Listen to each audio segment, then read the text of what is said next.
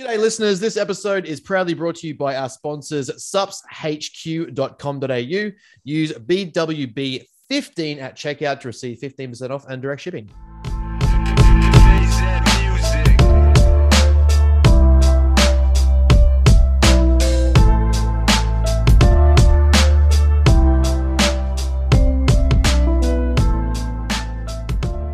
Welcome back, ladies and gentlemen, and all of you in between, to another episode of Bros with Brains here with myself, Mr. Aaron Scarfy, and from Queensland, Mr. Benjamin Button Mayfield Smith. I think by now, you think of like 80 episodes in, they figured out that when you're talking, it's you.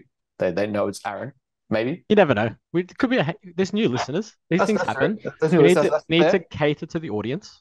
Guys, if you if you're a newer listener, go back to episode one, start again, fully subscribe, and Yeah, and, bitch. and did we even do like good? In- I don't even think we did good intros back then, but anyway, I don't know. It feels like so Uh, long. it was so long ago. We've evolved eight- as people, as men. Like 80, society. w- 80 week, 80 weeks or so. I don't even know. We've been doing this for too long. That's a natty prep, isn't it? Yeah, hundred percent. It's only it's only halfway through. uh, what are you looking at? What episode we're up to? No, I'm pretty sure this is episode eighty. To be honest, Yeah, fuck. uh, let's have a look. I'm pretty sure. Uh, where's this? Wait, that's basically a Yeah. fucking se- series Episode- of Netflix. Episode eighty. Yeah, it's the longest running season of anything.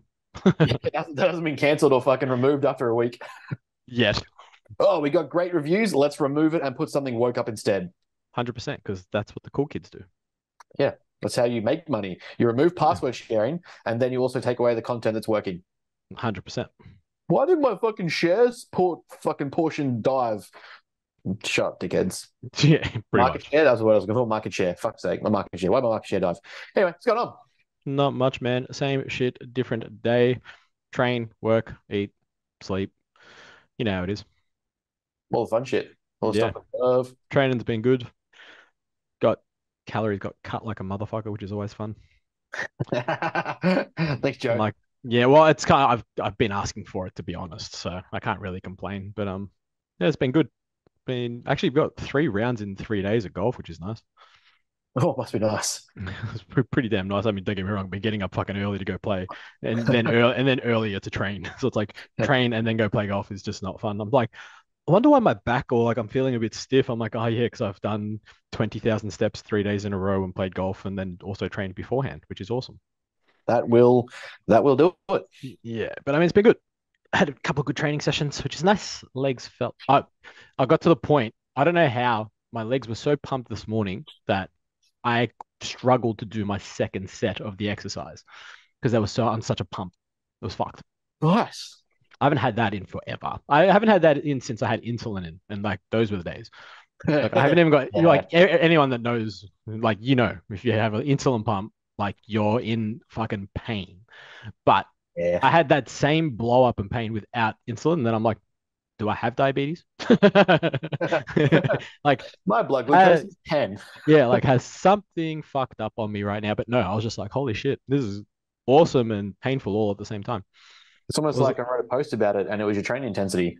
Yeah, well, I contemplated if I needed to do the second set. I was like, I nearly, I nearly turned around and didn't do the second set because I was that blown up and in that much pain. I'm like, this isn't good. like, this ain't right.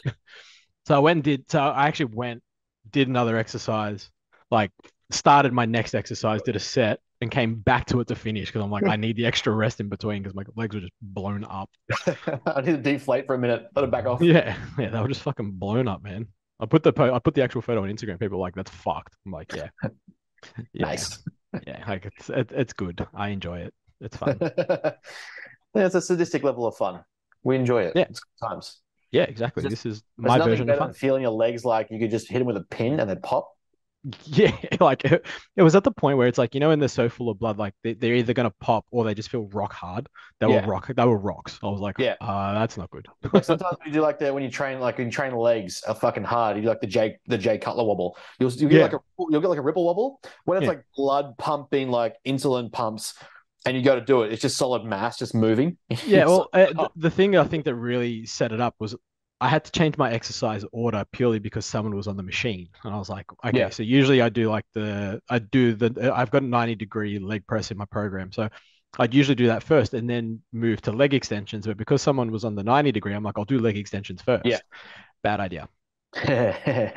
Very bad idea. today. I, I, I, and I had thought about it beforehand. I'm like, I know uh, me, I'm going to push these leg extensions to death because I have way more energy to do them right now. So I completely did that as a, you know, idiot that I am, and then decided to to get on the the leg press, and I'm like, oh no, I'm in trouble here. We're, we're, yeah, this is not fun. I do that for clients when uh like if they're if they're not quite feeling their hamstrings or they're not quite uh like they you know might have back pain or like slight, slight niggles in them in their hinging um but I still want them to execute an RDL I'll get them to like a Nordic curl first Yeah. and like oh this doesn't look like it's gonna be much work I'm like "Uh, uh, shut up do the Nordic Yeah. curls first let's see you do two sets of 20 and then we'll see how much you do on your RDLs I guarantee you it's not much and you're shaking every single time holy fuck what is this yeah you Hundred percent, hundred percent. it's almost like 100%. we exercise selection order for a specific reason and we get the benefits out of it Hundred percent. I mean, who would have thought? I mean, we did. oh, we did. it's like when people are like, "Oh, I didn't know this." I'm like, "But I did. That's why I put it there for you." Ask the question, and I'll give you the answer. But I did. That's why it yeah, happened. it's like blah blah blah. But no, no, no, no. I've done this before. Yeah. When I, when I get when I get like uh one of my girls like not blow up weight after a period, or like they maybe came like you know the the weight increase was slightly faster than usual. I'm like, hey, yeah, let's give it two weeks. Let's see what happens, and then straight away come straight back down. Like, yeah, no, yeah, I'm like, it's like you- yeah, you were going through your bloat phase, and then you held water, and then you bled out, and then also your weight came back down as you went back into the next phase. This is how it works. Like, Yeah. oh, but this usually happens. I'm like, yeah, but no, that was, that was that's what it used to do. This is what it does now. that was pre-bed. Yeah. This is This is- before we work together. this is post-bed. Yeah. this is the new you. You're Yeah. welcome. You're welcome. Turns out you don't. And like even like the message you get, it's like, oh my, my periods are nowhere near as painful and blah blah. And this is happening. I'm nowhere near as bloated. I don't feel as disgusting. Like yeah yeah. So when you actually have good amounts of a mixture of insoluble soluble fiber and digestion works and liver metabolism kicks in, we know what's happening. You're actually breaking down estrogen properly. It doesn't have to be as painful. I can't tell you about the pain, but I can tell you that this makes sense. And I can tell. works. I can tell you theoretically about about Yeah. the pain. Yeah, That's so always. I can mansplain to you what the data yeah, and then I'd you're going to be chance. put. Yeah, and you're going to be put on in, put in much more pain that you don't need. Exactly. I was like, it's, it's weird. It's weird. It's like it's like we kind of knew this, but uh, that's why you came here, isn't it? Yes, to uh, ask us for assistance because that's what we do for our living. Correct. Correcto. But anyway, how is sunny, wet Brisbane? Man, it was actually good this morning. I got up. I'm like coming on the back end of this back inflammation, which is good. So, um, deloaded last week and just sort of went through uh, more of the accessory leg work, and then I'll put them back in this week. Um, but um, got up this morning, got about 30 minutes of sunlight, had a coffee, got uh, some posing, uh, sorry, some stretching, some mobility work done, got the glutes triggered uh, up on the roof, so that was good. Got that going. Um, yeah, end up uh, ended up seeing big David Goggins on Monday. That was fucking pretty unreal. Won't Yeah. lie. The rest of the event was pretty trash. Like listening to people um, over market and sell themselves, and they just say, "You were not selling anything today, but also for this one time offer, you can get this." I'm like, bruh. Yeah, because it wasn't Like- just him, was it? No, no, no. So it was like a, it was like a, an event, like a. I, I kind of didn't realize when I got the ticket, it was off a client that couldn't make it, and I was like, David Goggins sold. I'll pay that. Um, then there was all this extra stuff with it. I was like, oh, it actually sounds like Yeah. it'd be decent. Read some reviews, got there, and it was honestly just a fucking six hour like sales pitch and just dumb shit where they're just like, um, you know, for this much money, I can rejig your entire interest rate and mortgage structure and have you pay off your house in seven years if you buy this.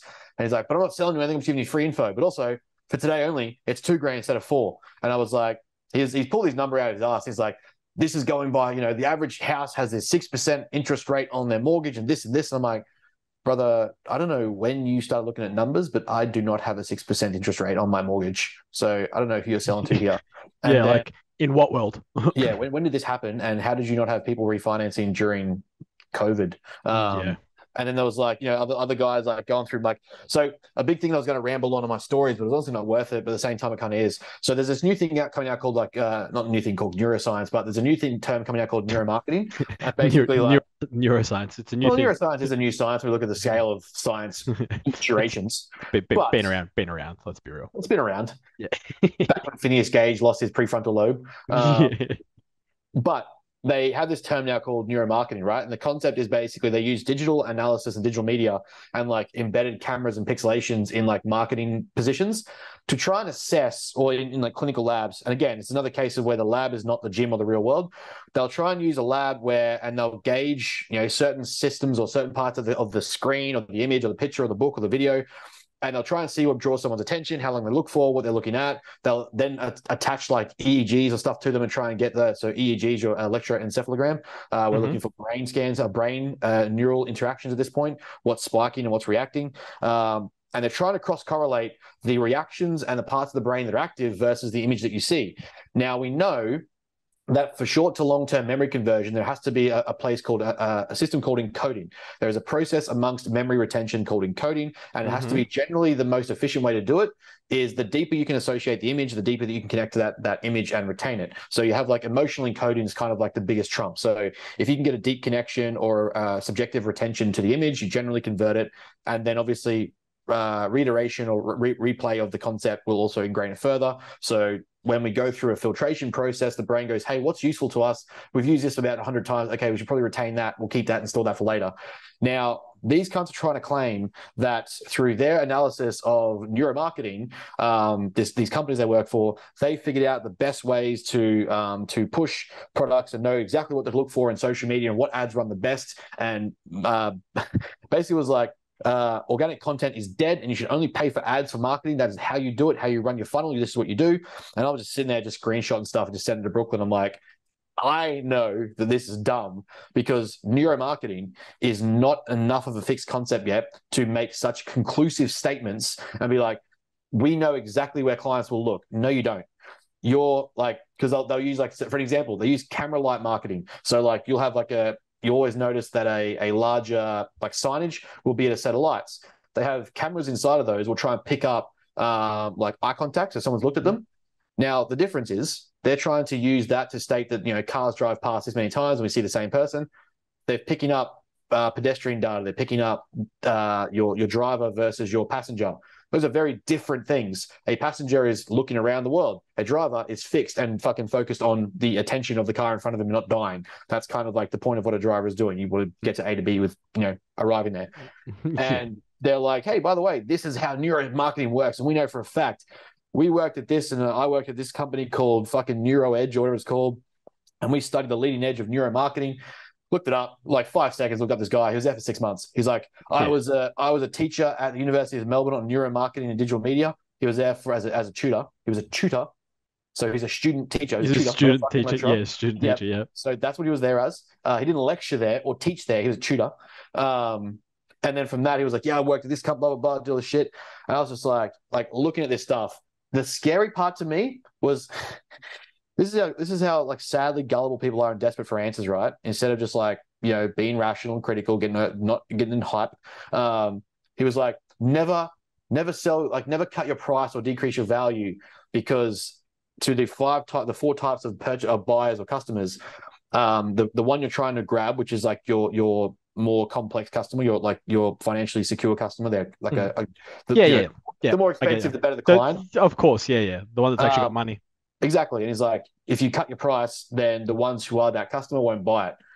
End of the fucking event, he goes, for today only, my forty thousand dollar product, five grand. Yeah, of like, course, brother, of course. It's a you market. think Yeah, that you a- can cut nearly a thousand percent in total Mm. price, Yeah. and think that no one's going to bat an eyelid. Yeah. Sadly, I was wrong. The number of Yeah, every, everyone jumped. every- booth, yeah, I everyone was like, you dumb motherfuckers. Yeah, yeah, I- it's a very common thing in coaching, business coaching, and um, from what I've seen coming across all the different business coaches I've interacted with and sort of inquired with and looked at their strategy more than anything, and like how are you going to make me more money or help me make money? And it's kind of like, well, they've they've all got the same thing. It's like you have, you know, your high end ticket offer, whatever it is, and Yeah. then then what are you willing to sell it for? And it's kind of Yeah. like this is your ideal price, and then this is your, you know, ship price, and you're like, Yeah. fucking really? Like, so you this is what the value is actually worth, but you're just trying Yeah. to overcharge. So you're being a dick. Yes. So instead, just charge what it's worth, Yes. promote it as that, and if people buy it, they buy it, and if they don't, they don't. Fucking so be it. Let market dictate the value of your product. anyway, so I imagine Brooklyn went there. She would have had a heart attack. No, she didn't go. She um I That's was what I'm just- saying. Im- was just- imagine if she. Oh yeah. Yeah, yeah. She she would have a field day. Um, yeah, she would have had a heart attack. She would have killed the- everyone. Would have The been thing that immediately put me on the step back was that this guy used his childhood to say that he'd studied behavioral science. Yeah, nah, fuck off. I was like, Yeah, we're done. I'm going home. I- left it. I left it. So like they locked they locked the fucking doors, right? So they shut the doors. They're like, all right, presentation started. They shut the doors. Like, yep, sorry guys. Like, uh, shut the doors. No one leaves while I'm speaking. I was like, bruh, if you have to trap people in the fucking audience, that's yeah, that's well, yeah, it's kind of like when you know you have these events where they're like, oh, you can't take your phone out. It's like, uh, okay, like you're gonna do something that we haven't seen before, which I'm sure we have, but whatever. Yeah. Yeah, gonna lock the doors on you. But okay. pretty much from there, I was like, okay, this is fucking trash.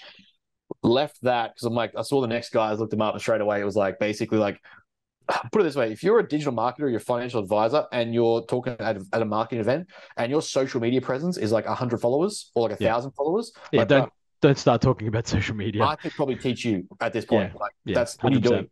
Um, and so I was just like, all right, cool. I left that at like, I think I got out at 11 because the first talker was Nedd Brockmann, the guy who ran from Perth to Sydney. Like that was pretty cool. Um, you could definitely tell the hype's got to him a bit. Like it's like, you know, yeah, he's got a cool story to tell. He ran really far, yada, yada. I get that because Mhm. David Goggins also there. Good shit. Raised some money. Fantastic. But like, but there's there's not much in that that you have to teach me that David Goggins hasn't already taught me. Or, or yeah, like- well, yeah. What are they going to offer that he Yeah. isn't, or something along those Exactly. lines? Exactly. So I was like, it's not really a different thing. It's like a, a But- less. I, I get he was an idol and that sort of shit. It's a cool story, but I was like, Yeah. Well, like- I do, I do wonder if they're just there to reinforce more than I, I honestly think it's just like another like grab Aussie hype, get the appeal of a Yeah. local guy. Yeah. yeah, we've got this like draw him in, cool. Um, I was like, I was like, cool. It was, it was a good story. Listen to him. Like the thing that got me most across the day was that it was people saying stuff that I'd already heard. Like they were just saying a lot of stuff I already knew. So I was like, cool. I'm just coming back for Goggins. Left, did client check-ins, came back at four o'clock. Listened to Goggins. Uh, got to shake his hand, got a photo with him. I was like, fuck, what do I say to a man who's inspired me this much in a minute? I was like, I got round there. Literally, all I could say was like, I appreciate you, man. Like, yeah. fucking It's, thanks. like I got there and no words came out of my mouth. yeah, I just froze up. I got- the thing the thing to me was like fucking liar liar. yeah, yeah, literally. But like the thing that got me right was I went in there like it's pretty it was meant to be a pretty big big event. Like you go in there represent your business and network and connect and chat whatever. And I was probably one of five people I could see wearing a button down slacks and dress shorts, uh, dress pants, uh, dress shoes. And I got like even in the platinum lineup of people, people just wearing like trainers and like fit shorts and gym gear and like singlets or shirts. I'm like, I'm meeting David fucking Goggins. This this person, someone who like inspires part of my life and has affected how I run my business. I'm probably not going to rock up there half-assed and look like a bag of shit. I got around the corner and he's just straight up like, "Man, you're looking sharp, brother." And I was like, "Thanks, man. I feel validated." Oh, I feel like that, that's what I feel like that's one of two things. It's funny. It's like I've I've been to events where I've done both. Yeah. It's kind of like I, I, I don't know. Like I don't feel usually comfortable in like Yeah. slacks, shirts. Yes, Like neither do I. uh, yeah, yeah, like I don't feel so. It's like if I'm going to go to something, if I have the option to be comfortable, I'm going to be Well, fucking comfortable. I You know sort of I mean? said like, look, if I look at the gen, gen uh, uh, uh, general But that- Yeah, but I mean, when I say comfortable to an event like that, I don't mean like trackies. I mean, you can just put on jeans and a polo top. Yeah, like that, exactly that's comfortable, and it's like at Yeah. least you look you look neat. You, look pres- yeah, you look presentable. Yeah. it's like neat It's like- casual. a, a general audience, like the general audience, like fair enough. You're not meeting him or like getting up face to face with anyone. It's just kind of like yeah, yeah, yeah. Like Yeah. fair enough, throw on some fucking shorts and some nice shoes, something like that. But like if you're in line to meet him, like of all the things that I respect about this guy, it's like you know, it's his discipline, it's his routine, his structure. I can rock up to this dressed up to meet David Goggins. I can meet up dressed to like, you know, I was kind of talking about the client the other day is I set the standard for myself in the environment that I'm in. So if I'm Yeah. going to uni and I'm going to be at uni, I, I dress to be student Ben. If I'm Yeah. in the office, you know, I'm wearing my polo. It's not a button down, but it's a polo. Where I'm, I'm always wearing shoes. Even Tom was like, "Why the fuck do you wear shoes in your office?" I'm like, "Because it tells me I'm working. Like I'm in the environment you, to you work." set yeah, yeah. You're setting your routine. You're setting your standards. Exactly. It's fair. That's I get my- that. for me, for this, for like to meet a cat like Goggins, I'm dressing the part of what I expect of myself to meet Goggins. Yeah. I'm like, how can I ever be like, you know, because there's, there's always like the, the cliche Q and A's at the end where it's like, hey David, I'm going to be up there speaking with you one day, and Yeah. I'm going to do this with you, and he's Yeah, like, yeah. right, he's like, Yeah. like you, you don't look like you're carrying yourself like that's what you're going to do. Yeah, hundred you do to percent. Make this happen. And I was Yeah. like, I, I can Well- go say to this guy that you've impacted my business. It- It's like the it's like the saying "fake it till you make it," and like some of the things you can't control when you fake it is like the way you look. Like Yeah, yeah, 100%. yeah. You, you you can put on something nice and you can tell people like I do this, and yeah, nine If you're times out of ten they're gonna they're gonna believe you. if you can, if you're to stand up in front of two and a half thousand people and tell David Goggins you're going to be up there one day talking with him, Yeah. and he says to you when and how, what does it look like? To like tell me the details, and you just Yeah. like freeze up whilst you're wearing a bag of shit clothes. Yeah. that to me just says like you've never actually thought this out. This is not an Yeah. actual dream. This is just like I'm going to tell David I want to be like him. Like you're wasting everyone's time. Shut up. Yeah, I want to grow up and be like you one day. Yeah. But I mean, like, yeah, just the fucking yeah. To me, like, there's a there's a photo I can get access to. I think um, I've got to go find that probably today. Actually, put that in my notes. Um, but yeah, just just like a just a fucking unreal. He's one of my he's my my part of my Mount Rushmore of mindset influences. So Yeah. I've got a signed copy of Tim Grover's book. I've got a signed copy of David Goggins' book. I've Yeah. now got a signed copy of Jordan Peterson's and a signed copy of Jocko's. Yeah, nice. Jocko is the only one out of those guys for me, I think. But anyway, that's just because of the military slash MMA background. Um, Well, I mean, Goggins also from the military. Also yeah, but it doesn't do MMA. SEAL and Ah. Ranger and Yeah, yeah, yeah. Does doesn't interest me. Doesn't interest. It's been done before. Like, do something new. You know. I'm, ki- I'm kidding. I'm, ki- I'm kidding. I, I don't I don't follow much. You know me. I don't follow know. these guys. I like nah. I know. I let you do it, and then I just pick your brain. Yeah, Um, it. Um, but yeah, like that's fucking it's mad. It's a it was just a, a good start to the week, get it all going. Um, big news is that we have the app coming out. So we are that was kind of like my announcement for I think it was last week or maybe for the month ahead. I don't know. Yeah, whatever. we can't remember. We I- did have an I- announcement at some point, but yes. I knew I was going to say it. Um, but the app is in the final stage of development, so it's done. We're just uploading content, and then we're going to sit down with the developers and kind of walk through how that content got uploaded. So you just kind of got like some preset pieces of our stuff that we can load into it. Yeah. Um, and basically from there, Matter HQ is born, and it's fucking good to go. And we start to onboard clients through it. And I'll just probably spend the first few weeks before I go back to uni, mapping it out, playing with it, and make sure it's good to go. Um, yeah, it's fucking know, Talking it's about crazy. the app or your penis? Um, Pork, you know that does? just the way it came out. Could have been anything. Could have been. Up to you. Yeah. So, I mean, back's getting better. Business is good. Mm-hmm. Life is good. Motivated. I'm excited. Shit's happening. Can't complain. Not really. No. No. I mean, I will, but I can't. Oh, and that's what this podcast is for, to complain. That's the whole point. Yes, correct. Yes. It's educated complaining. Hundred percent. It's like what do we see in the industry and what's pissed us off, which is always fun. So we should just we should just change the title. What pisses us off? But anyway, so convo, client loyalty. oh, yes. Oh, this This is- a few people. This is this is always a fun one. It's like Mhm. it, it- there's an interesting. There's always, as we know, there's always two sides to the story, right? Absolutely. Or two sides to any coin, unless you have a double-headed coin.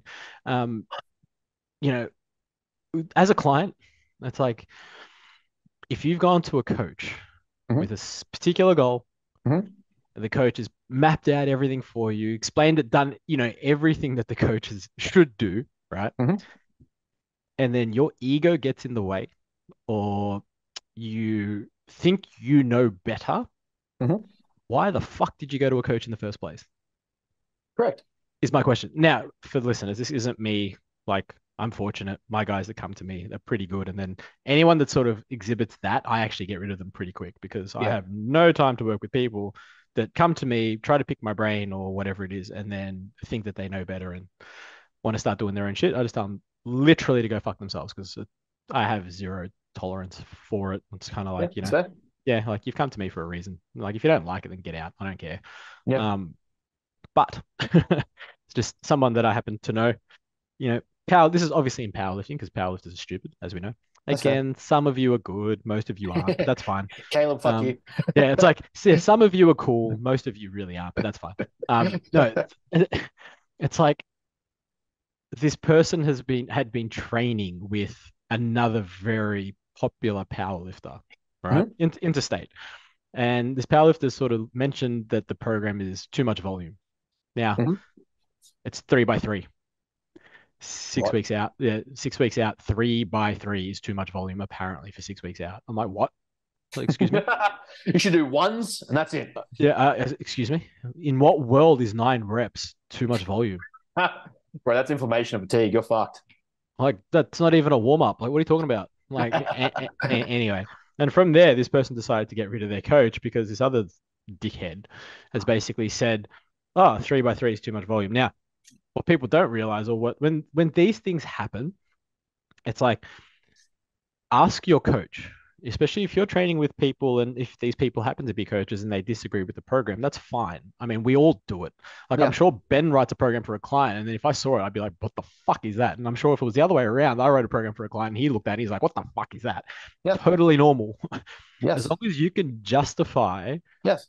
yeah, why you've written this program and how Mhm. you're going to get to the end goal, and they Yeah. get to that end goal, well, you can't Yeah. question it. Yeah. Yeah, because the result is what speaks, right? Now, Yes. When we talk about client loyalty, it's like, hey, you've you're with this coach for a reason. The Mhm. coach is probably going to give you the program or the exercises you need, Mhm. not the exercises you want. Correct. There are very, very different, especially in a powerlifting world. There are so many different ways to like peak for for a one RM or for you know comp day, right? Mhm. There's so many different ways to peak. There's different time lengths of peaking, different exercises, different set rep schemes, everything, right? Mhm. Now, if you have a particular way that you like to peak and you've got experience and you've done it before and blah, blah, blah, blah, blah, that's one thing. Going to a coach who has a different methodology to peaking and wants to implement that methodology because that's what they think is best for you as the client doesn't mean just because you disagree and your ego gets in the way thinking that you know better, you turn around and cancel with that coach. That's just Yeah. stupid Yes. have a have a conversation, try and see both sides, and maybe come up with a happy medium. Yeah. Because at the same time, the coach does need to be obviously attentive to the client. Mhm. Like as a coach, like it's my job to listen to you and say, "Hey, cool, you do have experience. You aren't new. You have valid points. Let's." But. I I think that this may be better for you in this current circumstance. Let's meet somewhere in the middle. How does this sound? And then you, you go through it with the client because it's a Yeah. team thing. Yes. Um, but yeah, just so many c- clients leave coaches because their egos get in the way, and it's just like fucking. What's the point of getting that coach in the first place if you think you know better? Then go write your own program. Yeah. Go go do your own shit. Like Mhm. go on, go on. Let's see how you go. You could be hundred percent right, and you could do phenomenally well with what you know and your expertise, or you could go horrendously bad, and we can all sit there and be like, "I told you so." Yeah. Like, I, I don't Yeah. get it. Like, I don't understand. It's yeah, like the way the way that we can like, you know, we can all sit there as coaches and sort of like attack each other and say, you know, this and that. And this is why, you know, me and you will always well, A, we rip on each other fucking full time because it's great. But like when we when we see, you know, we'll always attack an idea, not a person. That is Yeah. generally the principle I live by with stupidity. I will I will always give the benefit of the doubt that you tried to understand something, you misunderstood it. I may have misunderstood or something. But if I'm gonna if it's if it's blatantly wrong and you've you know you've come out fixed in your position, um, like you know a lot of the coaches we've been like a lot of the the the, the statements we've been ripping on recently in the last couple of sort of episodes when these mindset coaches and fucking idiots sort of take over. Um, again, it's the idea that we're making fun of, ripping and giving shit to. But if if you're if you're coming from that coach per se, or you come from that coach and you're still under them, and you're trying to pick my brain, you're starting to ask me questions, or you're starting to like you know test out the field. I'm going to say, hey, go have these chats with your coach. Like, go Yeah. figure those things out because I'm not going to start being known for that guy that you know poaches or steals clients. But at the same time, you know, there's there's a there's a a sort of loyalty as to well, you signed up with that coach. Why are you asking questions in the first place? Yeah. Like, why why are you looking around so much? Yeah. You know, if, if that coach has completely left you in the wind and you you know, you've like haven't heard from them in eight weeks and you can't even cancel because they won't contact you to let you cancel, great. Cut your card, stop paying them, you know, separate entirely. From there, you know, oh, I need to have a plan. I need to have someone ready to go. I want to work with someone. All right, fantastic. Now we start chatting shop. But you don't go, it's to me, it's kind of ethically no different than like testing the waters while you got a bad relationship. Oh, you know, I was just sort of seeing what's out there and I'll message a few chicks or a few dudes and just sort of see what's going on in case I become single. It's like, that's Yeah. still pretty shit. That's a pretty shit way to do it. Like, it's a pretty shit thing to do hmm. because then I'm thinking that like, hey, I'm helping, I'm, I'm helping someone who's potentially going to be a client, or I didn't know you had a coach, or hmm. like, you know, you're talking shit. Yeah. Or if you've gone, hey, you know, you come to me with a question about someone's programming, I'm like, oh, that doesn't make sense to me, but you know, what's this for? Yeah. Like that isn't my way of saying, hey, fuck that coach, get rid of them, come to me. Yeah. But like it, that that onus is on you as a client to be well, like the loyalty to you should be well. I've gone to that coach, given him my info, and given him the scenario, and he's we've mapped this out. Yeah. that that is the trust there. That's where you're supposed to be as a client. Like your the, the relationship is is is not mutually exclusive. It's a duality. It's an exchange of a partnership, right? We're going into an agreed partnership and a contract that and something I I would trust that you abide by, something I abide by, is trying to include the client as much as possible in the process Yeah. so they're buying. Like Like hundred we're trying to make sure that you're part of the team and part of the process and the, and the choice so that when it comes back to like you know say say a diet phase didn't work say a cut phase didn't work say a program didn't work say a fucking peak didn't work in a in a, a lift okay neither of us at fault here because we both came to a conclusion like this made sense to me. You said like you know you contributed your info and said look this is what i enjoy or previous data i've noted or something that i found in myself. Okay we're including what you've suggested. We've given some exercise selection considerations that you like and we've picked out the format or the layout of the template or the exercise variations that i like. So together we've come up with this conclusion.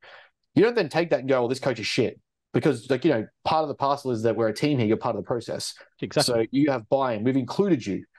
You don't then take that and sort of go, well, I'm going to go speak to three different coaches online because I think this coach is shit. Yeah. Well, you know, what parts of the result can you take ownership of that you didn't do? Well, I didn't really train to one RIR when I should have. I didn't really train to true intensity when I was in the gym. I didn't Hmm. really train to my macros and my calories. I didn't really peak and back off my list as I said I should, and I didn't do my deloads. it's like Okay, I, so I, I didn't follow the program. I didn't follow the basically. So is the coach shit, or was the simplicity of the program what you missed, and you tried to overcomplicate it and you fucked it, and then want to go run your mouth and tell people that, that, that the coach is wrong? Now, I'm not saying no coach is ever not wrong because there's Exactly. always Yeah, of wrong. course. We're human. Exactly. Like you can't say that a coach can never be perfect. Like there's Olympia level coaches like Yeah. Benny Chow and Hunter literally said, "We Yeah, missed I- the mark." that Yeah, I fucked up. Yeah, Yeah, I fucked literally up. said. Yeah. We Like- we missed the peak. We mistimed his food or something the way that we went into the night show. We fucked it. Um, we're coming back next year. Yeah. Hunter, who's a fucking multi-million dollar athlete, is like top of the game, literally genetics potentially out the asshole, Yeah. still got it wrong. Yeah. With his input as an elite athlete with Benny Chow. Yeah. So do you go, oh fuck this coach, I'm gonna go with someone who knows better but has no data on your body the Yeah. last sort of two weeks of the of the season? No, Yeah. you go, okay, I'm gonna go with this person, stick it out. Now we've got data of what went wrong. Next time we have data of what goes right.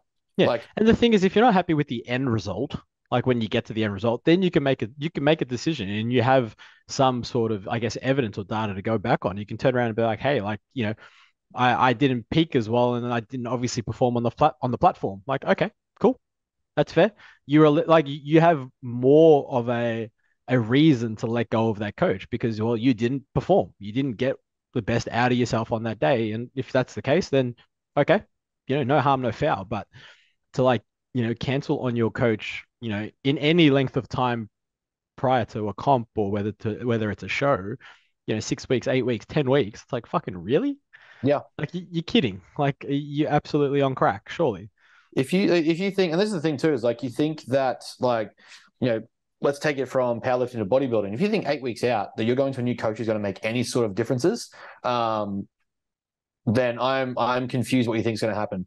Like Yeah. there's a little there's a bit you can do sure you can dig a little deeper but the only options you're going to have in that eight weeks is decrease more food increase more drugs or add more cardio that's the three options you have you're not doing you're not building more mass you're not adding more size you're not adding more complexity you're not doing any of this other stuff you're probably going to deload, brush off some fatigue, have a diet break, decrease calories, increase cardio, increase post. That's all you have as an option. To mm. go from that, be like, oh well, this coach does, has got it wrong. I'm going to change him. How the fuck do you know? You're eight Yeah. weeks out. You literally can't do anything else at this point than kind of see it through and then go, oh, you know, we, we probably should have been more aggressive at the front end. Okay, that's now data that your coach has. Yeah. So whether you go to a new coach, you'll have to find that out. Whether you go to an old, uh, uh, the same coach, you've now got that data. Yeah. In your peak week, when people start thinking things like all these manipulated variables are important or like we've got to figure it out to a T, what's there to figure out? Keep your water the same, keep your sodium the same, balance out your potassium, keep your creatine in, Yeah. eat foods that digest well, load carbohydrates based on the, uh, the the refeed weekends you've had prior to that, so that you know what it looks like to add food. Yeah. That's it. Like there's like sure it's there's like, like- you know It's like people who decide to change coaches two weeks between shows because they decided to eat 2,000 grams of carbs to load up at under 90 and Yeah, then blame yeah. and then want to blame the coach. It's like, no, dickhead, you had 2,000 grams of carbs when you weren't meant to because you're not that fucking big, brother.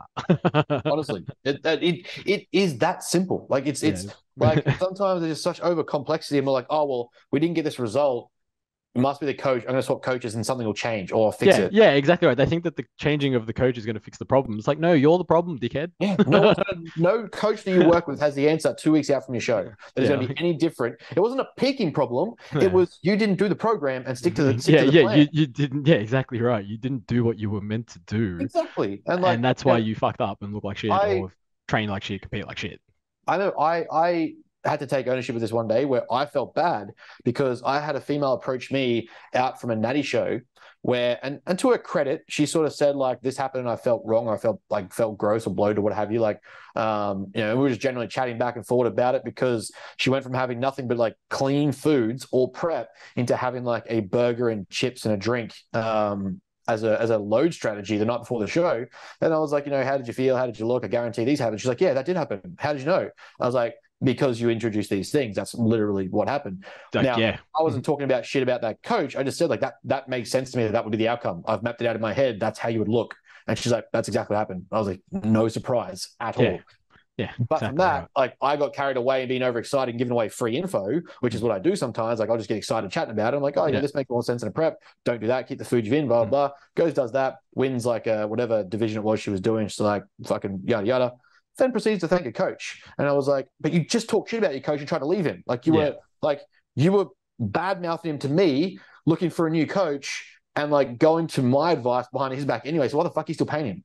Yeah. Like, why? Why? Yeah, well, it's like it's that. like in the professional setting. I think what is it like in some of the Olympia? Who was it? The they had two coaches. I can't remember who it Oh, was. yeah.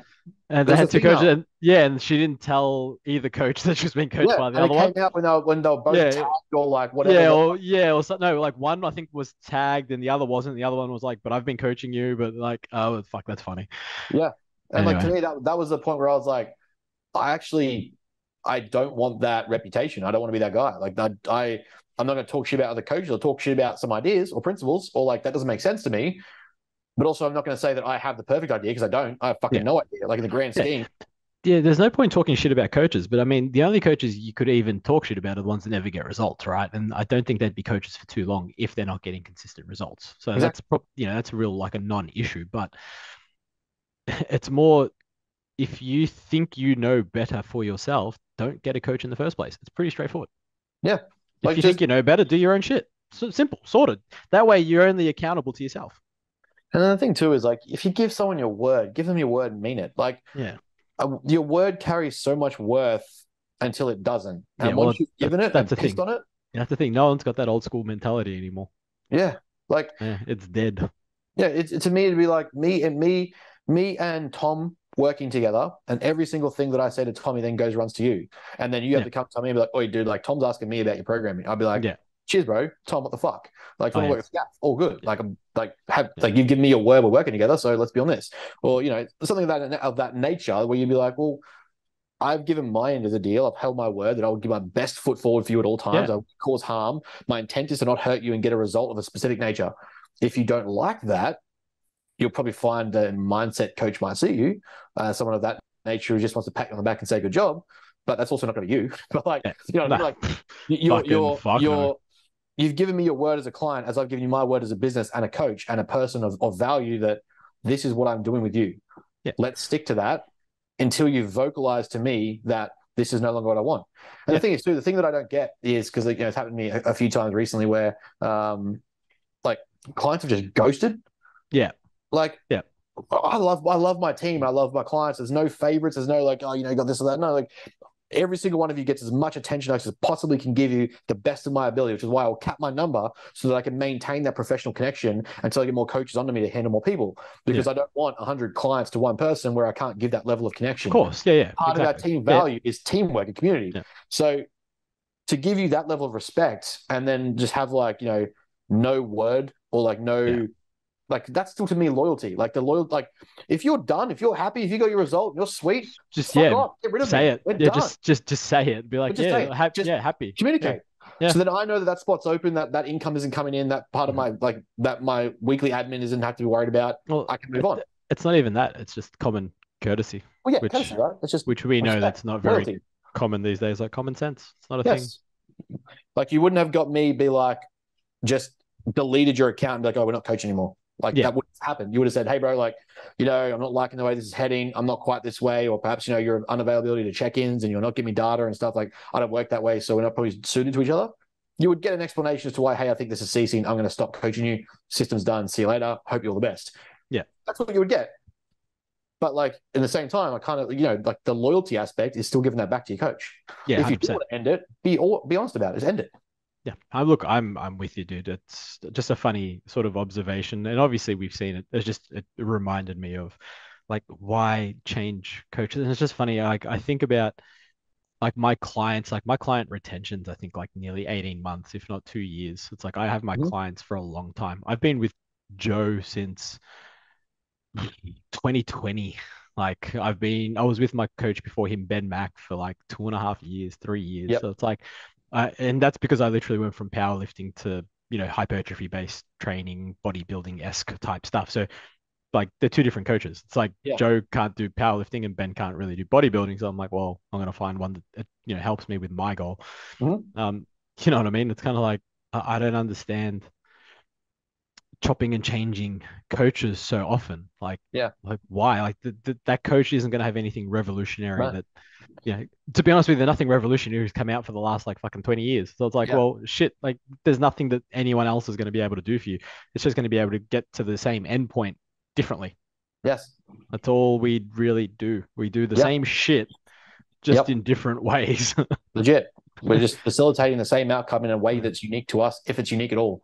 Yeah, and we try and make it as unique to you and as customized to you that you can do it. And it's like Well, I if mean, you're having, yeah, well, yeah, and if you're having the problem, voice it so that we can alternate or you know, we we can change things to better suit you. And if, yeah, and if it doesn't work, well then, you know, we're usually the first ones to say, you know what, I think what you're looking for I can't help with.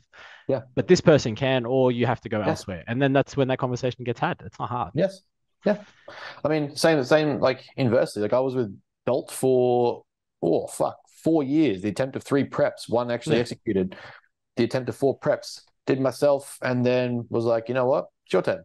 Like, I'm, Yeah. I'm done thinking. You're up. Yeah, literally Let's just do this. yeah. Because I said, like, you know, and I've said this, I said this when, you know, when Dolt sort of moved away from this realm and went in the way that in the direction he did, um, power to him. I was like, you know, when we first started, I was like, I'm looking for someone who will be in my corner the entire Yeah. time. Like, Yeah. you're not going to get someone to be like, yeah, maybe this week I want to bodybuild, maybe this week I'll be powerlifting, maybe next week I want to do surfing. yeah, like this is what I want to do day this is what I'm doing. Yeah. I'm building a team around me that facilitates that outcome. I don't care about literally anything else.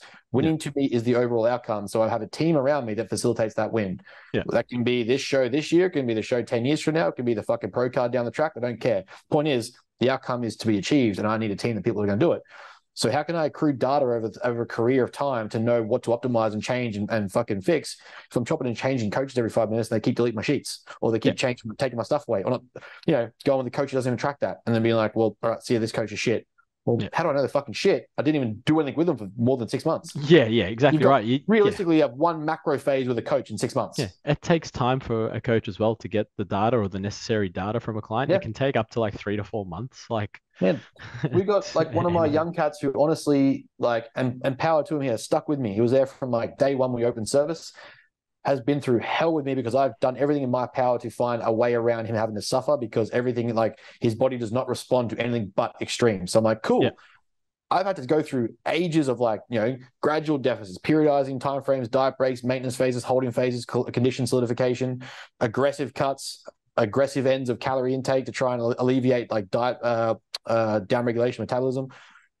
At a certain point, it just basically got to a point where I was like, okay, this dude just has to suffer until we get him so lean that he responds in a better way. He just has to suffer to get the fat off. Yeah. It, Oh. it doesn't. It doesn't matter who the coach was. You're No. going to the same the outcome. thing is, yeah, the thing is, you know that about your client because guess what? You've worked with your client for a period of time. Exactly. like, Exactly. yeah, like you've tried, you've tried every other thing and it hasn't worked. Well, this is what works for you, whatever the reason. This is what we do. It's like too bad. you know, according to certain nutrition companies, you can't go below 1800 calories because dangerous and disorder behavior. Sure. Tell Chris Bumstead that. But anyway, yeah, yeah, bro. let's Anyway. move into questions, shall we? Let's do it.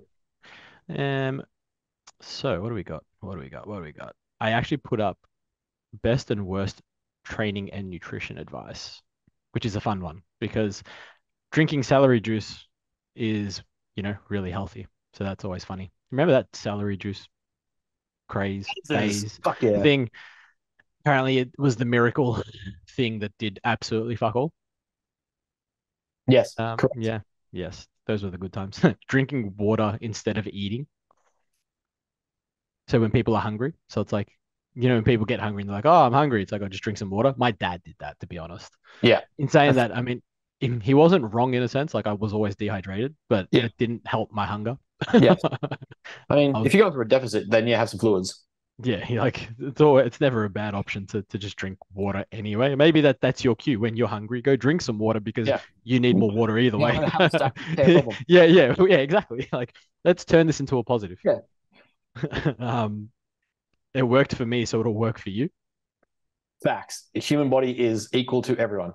Yeah, I I, I do like that one. That's always a a fun one. Like, you know, I got the result because I did it this way, so you'll get the result because it worked for Yeah. me. Like, mm, no. That that sort of coach to me always has like, you know, they'll only share, say, 10 clients in their story. The rest aren't getting any results. Yeah. They'll have 100 clients. I've got 100 clients. I work with this people, this many Yeah, people. but th- they show the same clients over they and show the over. same clients because that one system worked for them. Yeah, that's like a certain couple of certain coaches based in Queensland that just show the same clients and claim that they've got all these clients. Like, yeah, sure, buddy. Um, a juice cleanse will cure my celiac. Nice. Good luck with I that. mean, look, I'll pray for you, but not sure that that's going to help at People, all. please just comprehend at all times that the liver and kidney have its jobs for a reason. Yeah. Like the only thing that's funny, I the only argument I ever have to like I guess the whole detoxing thing, right? It's like people because people will be like, oh, you don't need to detox, you got a liver and a kidney, liver and kidneys. Like no stress. I, I completely agree. However, if they're not functioning Yes, correct. Yes. and if they're not in, in a good working manner, yeah, if you're abusing those fuckers. then, then we need to probably look at maybe not necessarily like the whole detoxifying thing, but probably some form of supplementation to assist yes. the kidneys and the liver. Yeah. Yeah, that's the only you know the caveat to that. Um, don't eat garlic before training. I like that. I mean, That's I brush my teeth with garlic dip. Does that count?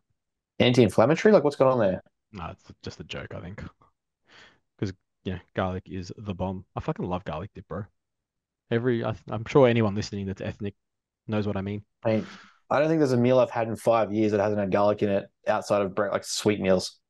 Yeah, right. Even then, you just put some garlic on the side. Yeah, fucking why not? Who doesn't like garlic chobani? Hundred percent. It's just it's the new flavor.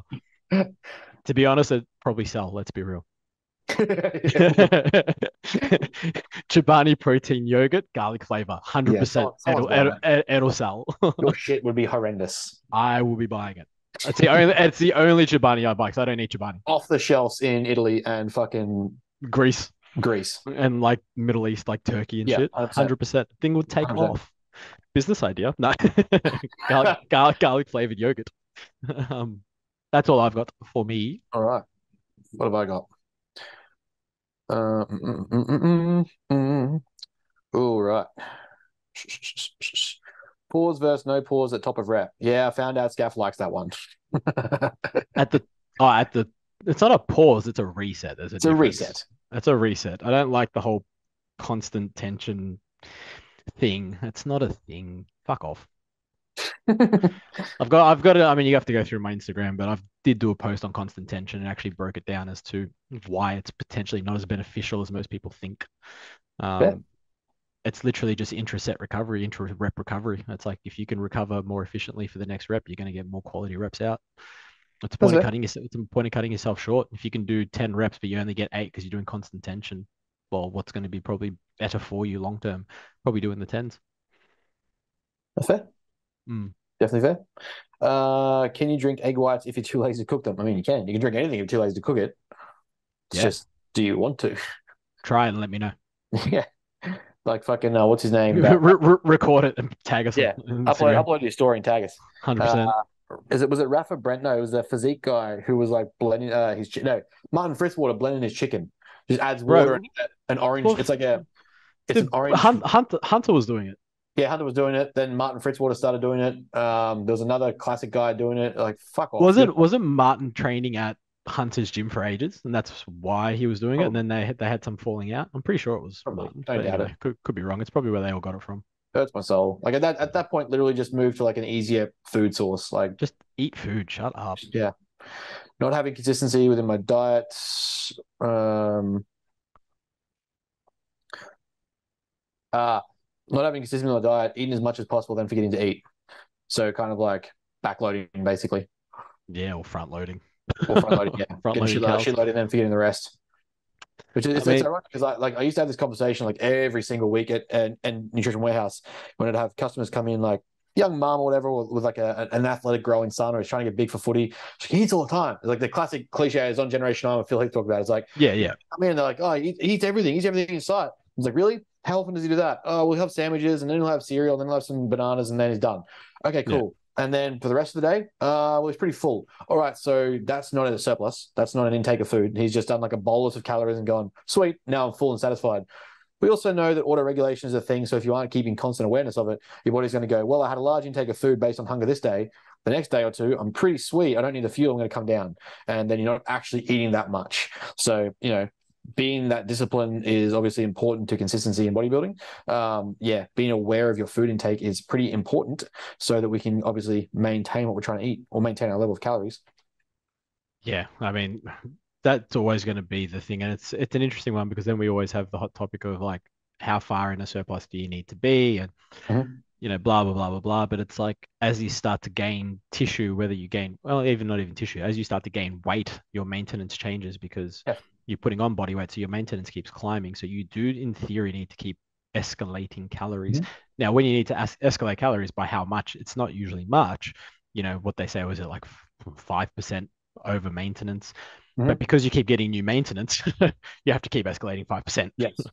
So, yeah, y- y- it- it's a funny one because people are like, well, you, you can literally keep them in one calorie, like keep them at one calorie balance for their entire surplus. And it's like, yeah, you can, but it needs to be pretty high. And the only problem is they're going to end up getting, or they're going to get fatter faster, which Yes. then takes them out of the growth phase sooner, which is Yes. not ideal if you're trying to build tissue. Correct. Anyway, I agree. Um, ooh, for all the podcasts, took too long to put the question box. Uh, but do you guys use different rep schemes, or would would they be beneficial? It was um, Mark Carroll's rep prescription examples like constant rep range, set loading ranges, descending reps, descending reps, skewed pyramid, pyramid stage, Uh, weight load, blah blah blah so he is a proponent of that or not a proponent of that? Um, Or is it just a general is. question? Yeah, okay. So so do we use them as well? no, I don't do pyramid sets. I've done them, don't get me wrong. Yeah. I don't do drop sets. I've done Yeah. them. Um, Yeah. but no, that I like to set rep schemes based on one goal of client. Mhm. So it's like obviously that'll come first and that'll determine where the effort goes into like particular body parts or particular movements. Mhm. Um, and then from there, I would put in like a higher rep scheme for either muscles that seem to adapt better to a Mhm. higher rep scheme. Mhm. Um, but it doesn't mean that in the next phase it, I don't change it because I Yeah. usually do. It's like don't get me wrong, I've done heavy sets of calf raises because Yeah. they're calf raises. Like usually everyone's like, no, you need to do like all the sets, all the reps, you know, fucking ten times a ten times a week and all this sort of shit. And it's kind of like, eh, well, it's like any other muscle. Yes. Get strong in all your rep ranges. yes. Um, and the thing is, getting strong in all your rep ranges just means you need to phase it, and phasing it, you know, can be over a 12 month period, and you might do six months of just like high reps on, you know, isolation work and low reps on compounds, and then you might Mhm. switch it and do fucking high reps on isolation exercises and do Mhm. like, you know, oh, sorry, low reps on isolations and high reps on compounds. Like, Yeah. mix it up, get strong across Yeah. the board, and guess what? You'll grow. Yeah, and I'll I'll do like I'll generally apply a very similar metric or premise. Like for for me, I often find that if I want someone to get strong, the main pro- probably two to three first exercise I've mapped out, are the ones what I'm strong in. So Yeah. they're going to be a six to eights or eight to tens, or maybe six to twelves, whatever the fuck it is. Yeah. And then we're looking at things like you know the way the rear delt works and pulls. We know the way that the your back works and stuff like that. We're getting higher pro- uh, propensity to rep targets because that's what they need to grow or stimulate or feel or contract.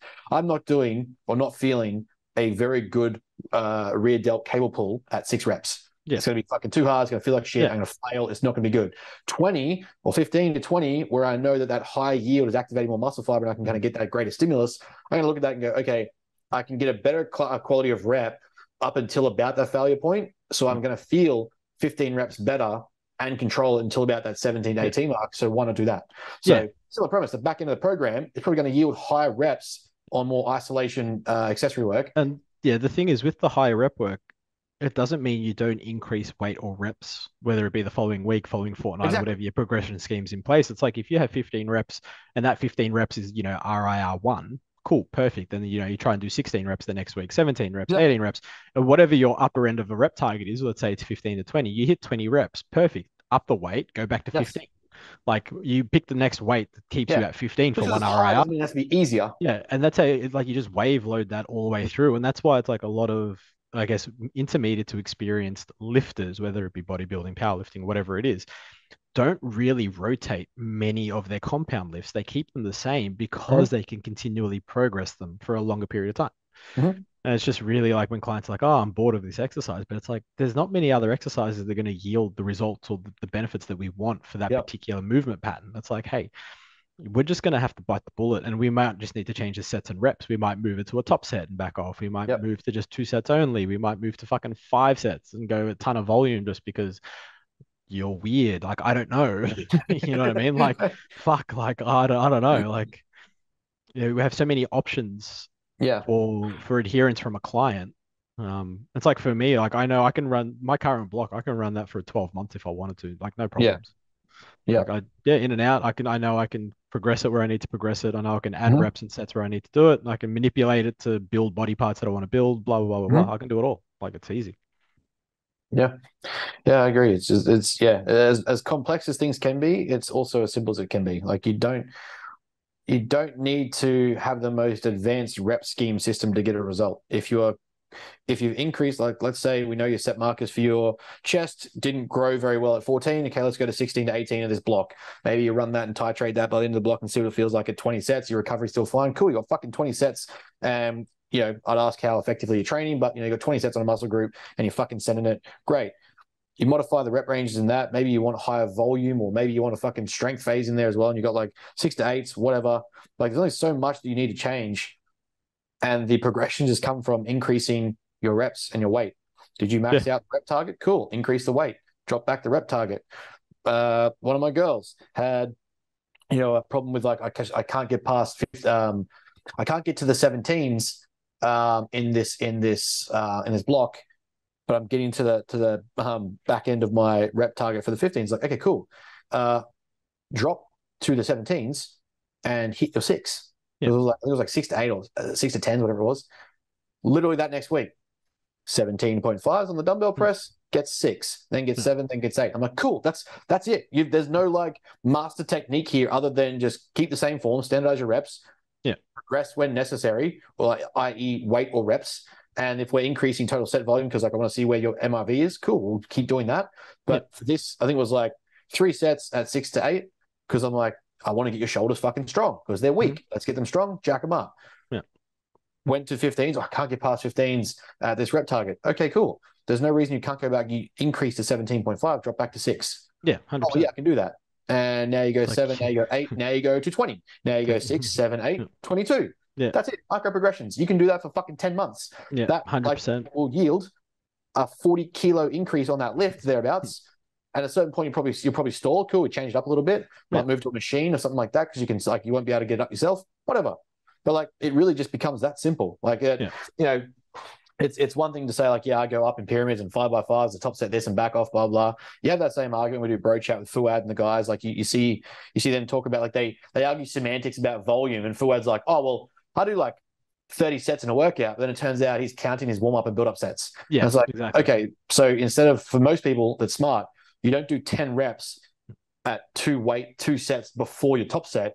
You might just start backing off. Like for me, it's always as I get closer to my working set, the rep range backs off as I'm warming up. I'm just sort of making sure it feels good. Then I'll get to my working set.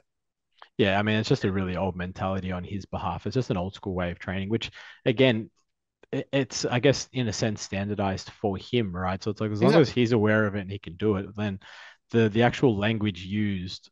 I mean, it's tricky because it's a podcast, so it's like you do want to get the language correct. However, Mhm. um, what he's trying to portray and then what actually is are very are two very different things. So Mhm. yeah, I, I'm not I'm not mad at that Oh, to no. be honest. But it's like, yeah, I, I do I do get it. It's kind of like, eh, warm up sets don't actually count because there's no really effective stimulus. And if you're taking warm up sets that close to Mhm. proximity to failure, well, then they're not warm up sets, they're working sets. Yep. but anyway, And that is it from me. beautiful because I do have a call coming up. So that timed beautifully well. I like that. Isn't it beautiful Um, when plan comes together? It's always nice. Uh, any quick news things we need to know, Bar, now that you've got your app up, well, close to up and running? Um, nope. Tommy is taking clients. I'm still taking clients. If you are looking for, um, know, looking for a coach, looking for a system, looking for an option, you know, we're not going to talk to you about other coaches. Come see us. I will. That's fine. I will. Fuck those guys. No, I'm kidding. Um, no, just that. Fuck you, Uh, people. Tommy, Tommy's on the system now. We're getting going. Uh, we've got posing workshops and stuff for the week coming up. Um, Michael is about to get to season A. He's looking fucking unreal. Team's getting ready for season B. Um, and yeah, we've got the app coming out and um, keep an eye out for our. We're moving back to our monthly articles. Keep an eye out for that as we're doing a a six month series on basically the foundations of bodybuilding and looking like you know how we start from the interest of bodybuilding to blood paneling to start your workload to know where the base markers are, what we're moving through, Mhm. and basically get on stage. So keep an eye for that. I love it. I love it. I haven't got much going on. You want me to coach you? Let me know. Shut up. Fuck it. I'm really bad at putting up. I'm waiting. I actually do have my um landing page being redone because I moved systems and my landing page obviously was on the old system. So I've got someone creating it to have all my links again, blah blah blah blah. So if you want to actually do get coaching, just DM me, please. Or use the shitty link that's in my Instagram story at the uh, Instagram post, Instagram post profile at the moment, which is just a Google form. Scaff's died. He's played golf. Um, I only had a lesson today. I'm just tired because I got up early and trained. I trained legs. You know what it's like after legs. Yeah, that's fair. Yeah, the, the- at least the pump's still not. The, it's gone down. We're good. I can I, I can walk. I can sit now. Yeah, pretty much. I mean, I'm scared to stand up, but we'll see how we go. All right, guys All right, and guys. girls. As always, thanks for tuning in. Any questions, concerns, always message us, or mostly just message Ben. Um, have a great weekend because that's when this will come out. Be be good. Be safe. Goodbye. See you guys.